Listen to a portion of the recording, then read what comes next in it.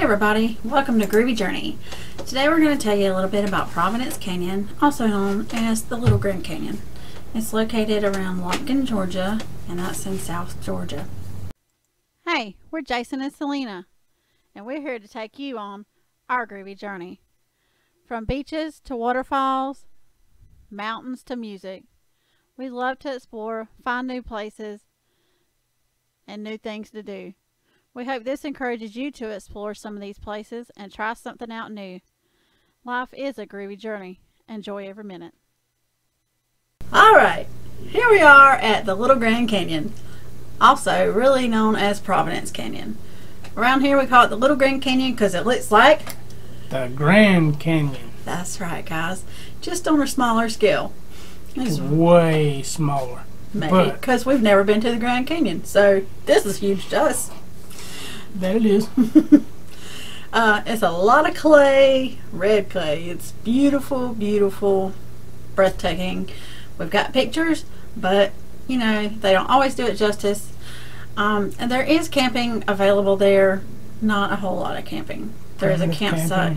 I like yeah, primitive camp down from the state park. I think about the seven mile trail. There are two trails at the Little Grand Canyon. One is the perimeter loop, which is 2.1 miles. And it's not that bad.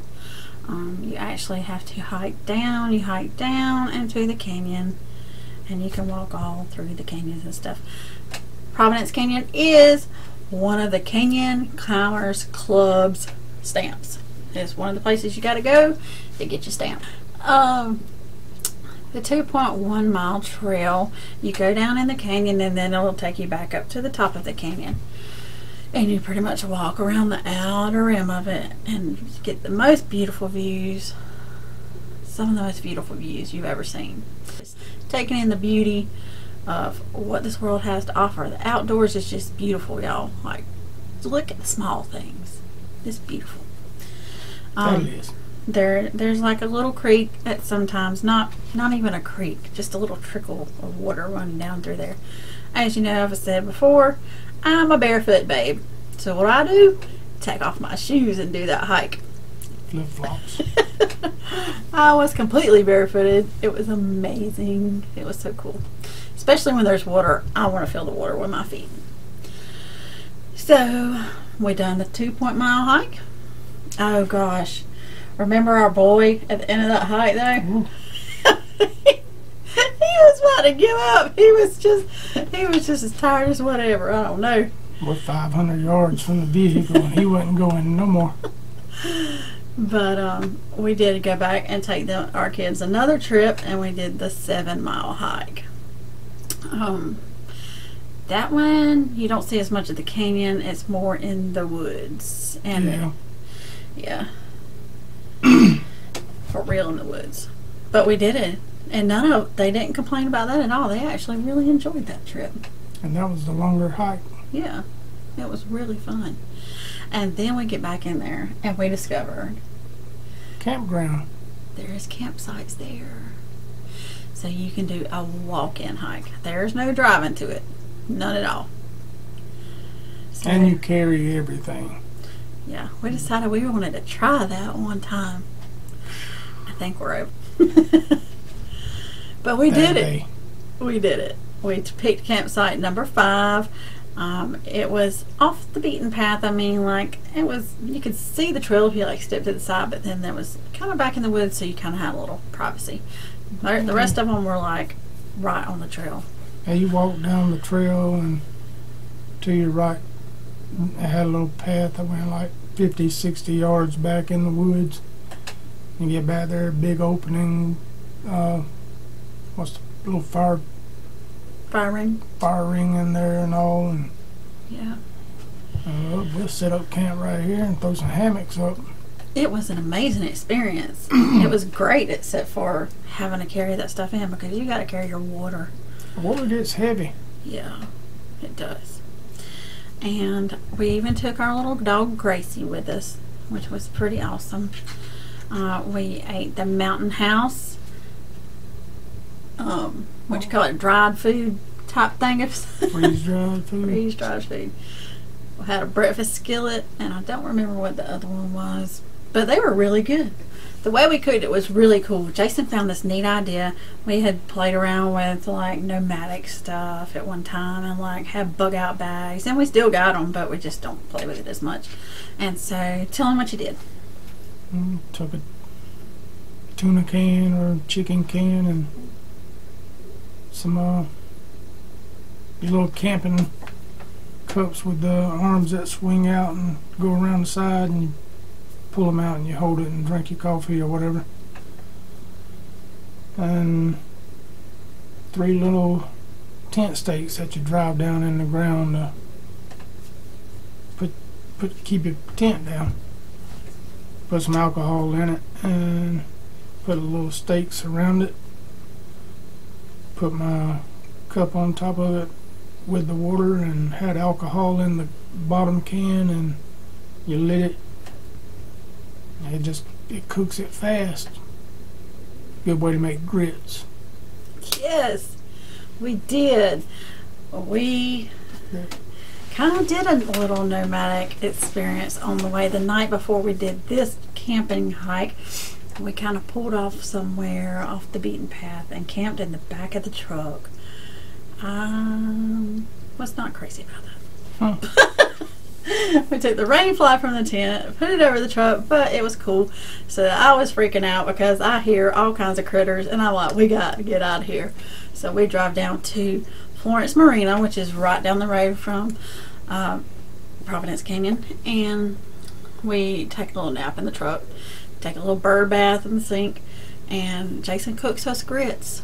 Grits on this alcohol stove. Like it gets so hot, it boils the water enough to make grits. We had grits and coffee on the lake at Florence Marina, and it was a cool day because there was a bass tournament, and so all these bass fishermen were there, and like we were there before the sun even come up. Oh yeah. and so when they took off to go fishing, we were there, and that was really, really neat experience. They get on the water real early. The Yeah. sun's not up and you Uh-uh. hear 200, 250 horsepower Mhm. engines going whoa right on by. Those bass fishermen are serious about their stuff. Um, we did take our hammocks when we did this walk-in hike. That was cool, and we had we. Well, see, the thing is, we carried enough water to kind of bathe off with a little bit, plus the water we had to drink, plus the water to make our food. So, but when we left, we had no water, so it wasn't quite as much to carry. We were out of water by morning. The only one that had any water was the dog, and it was just a little bit in the bowl. And I uh, did think about it, but I didn't do it. It was, it was coming down to me or her. So And we did build a campfire there. It was neat. It was my first real primitive camping, well, out in the woods primitive camping experience. I have primitive camp before, just not out in the woods. I was around other people. Because that morning when we woke up, I'm laying in the tent, getting my wits about me, and I hear, I heard the hogs. I freaked out. I was screaming, get away, get away, get away, like trying to scare them away because wild hogs can be mean mamma jammas. so we're like, that's it. We're packing up. We're out of here. So She was ready to go. We were out of there in five minutes. I don't. It wasn't seven miles into our campsite. No, that was only like three. Yeah, but we were on the seven mile hike, yeah. trail. It was at the halfway point on Yeah. the seven mile trail. So we're on our way back out, and uh, like I said, we have Gracie, our dog, with us, and uh, we hear hogs again, and she's barking, and I'm like freaking out because I don't want her to call attention to them, but they're just, they did scurry away. I couldn't get out of them woods fast enough, and I even like hunting, but up in the stand, away from the hogs. Hogs can hurt you. They get mad enough. when there's a bunch of them, I ain't. Uh-uh. So anyway, Providence Canyon State Park in Georgia. I'll put the link to it down below. It is part of the Georgia Canyon Climbers Club. I'll have the link to it down below as always. If you haven't ever been there, Say that fast three times. I don't think I can. but I can't say Peter Piper pick, pick up pickled peppers. uh, um, right. oh, also, there's a brewery not too far from the Little Green Oh, Canyon. yeah. Omaha, Omaha Brewery Company, Brewing Company. That is a really cool place. It's really in the middle of nowhere too, and, That's And dog it's- friendly.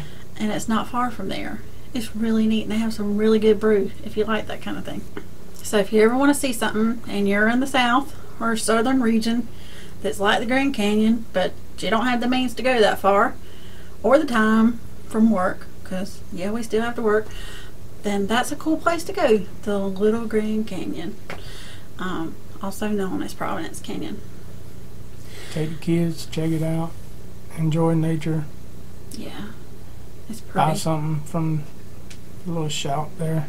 You know, I will say, as far as any tips on places to go and stuff around there, there's not a whole lot, except for like I said, Florence Marina. If you wanted to go fishing, it's right. It's not too far from there, a few miles, and then Omaha Brewing Company, and they usually have a food truck, I think, on the weekends. So, but as far as anything near nearby there, it's not. It's kind of out. So, yeah. If you're out that way, you're either going to have a drink or you're going to the little Grand Canyon. or fishing. Yeah. All right, and I think that's all we got on this one, and uh, we'll see you next time on Groovy Journey. Y'all have a great day.